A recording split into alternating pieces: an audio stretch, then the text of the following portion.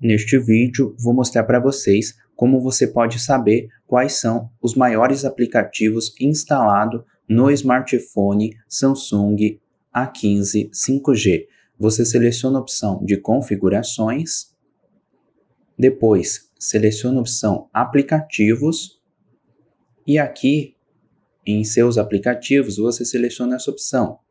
E aqui você seleciona todos e seleciona a opção ordenar por tamanho e aqui você seleciona essa opção, tamanho, e depois seleciona a opção OK. E aqui ele vai mostrar os maiores aplicativos instalados no smartphone. É esta dica rápida que eu queria mostrar para vocês neste vídeo. Não esqueça do seu like. Veja outras dicas deste modelo aqui em nosso canal. Muito obrigado e até o próximo vídeo.